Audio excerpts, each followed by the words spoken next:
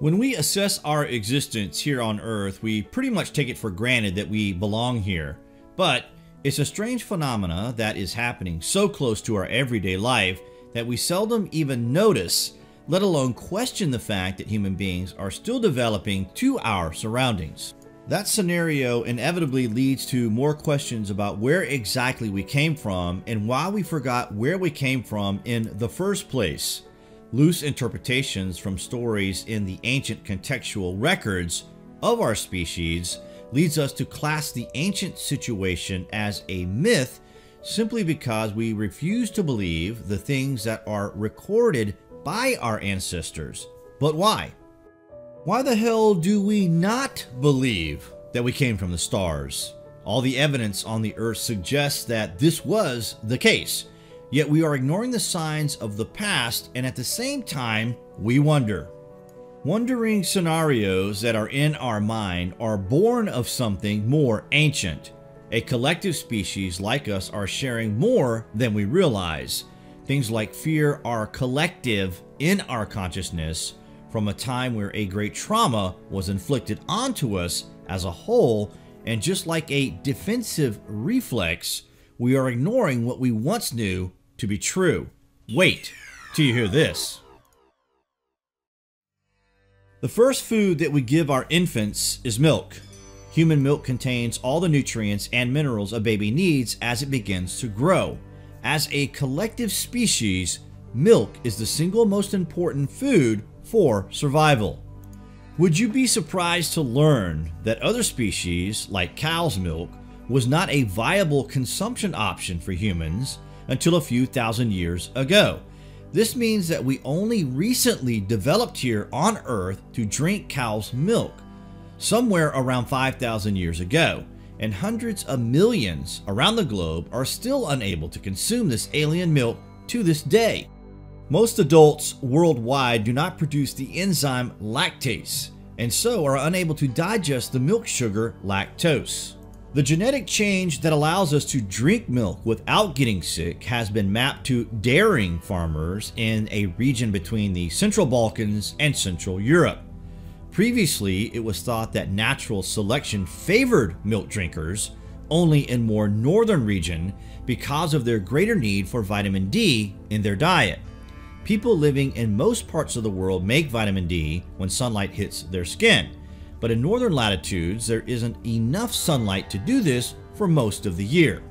You would have to consider that if humans were evolving on this planet for millions of years, then we would make a connection between human milk and cow's milk much earlier.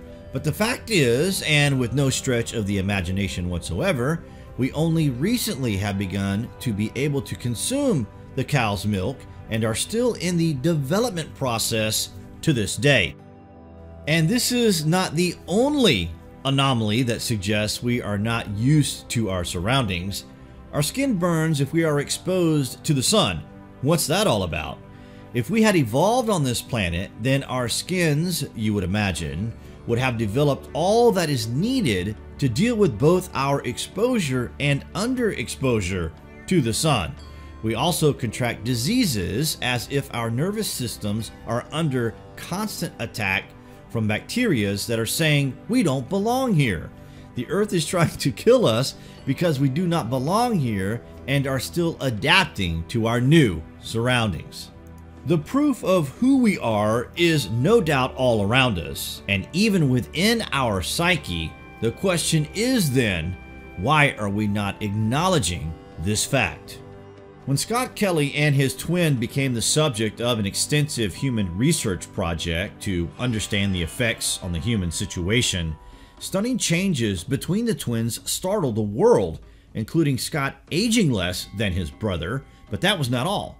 Genes related to Scott Kelly's immune system, DNA repair, bone formation networks, his bloodstream, and numerous other systems have all been altered. Could it be that humans will in fact go through a series of metamorphic changes to a state we were at before we came to the Earth? In our quest to explore the cosmos, perhaps returning to the stars will give us the keys to the past as well. Maybe within each and every one of us, there is an answer stored for a later date in time when we start to go through these changes and return to where we once came from. In a book titled Humans Are Not From Earth, a renowned author proposes that humans possesses a multitude of physical vulnerabilities, such as slower childhood development, a heightened susceptibility to illness, spinal problems, and difficulty giving birth. He concludes that we most likely evolved on another planet. If we go out in the sun too long, we get sunburn. And that doesn't make a lot of sense unless the conditions on planet Earth have changed very dramatically in the last few thousand years. You have to wear sunglasses outdoors. That also indicates that our eyes are not properly adapted to the planet. Another factor is that when astronauts actually go into space, their body clocks change from 24 hour days to a 24.9 hour day.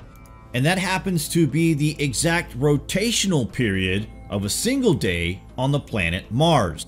Given the fact that our body clocks are tuned to the planet Mars, not to the planet Earth, that indicates that we actually came here from there.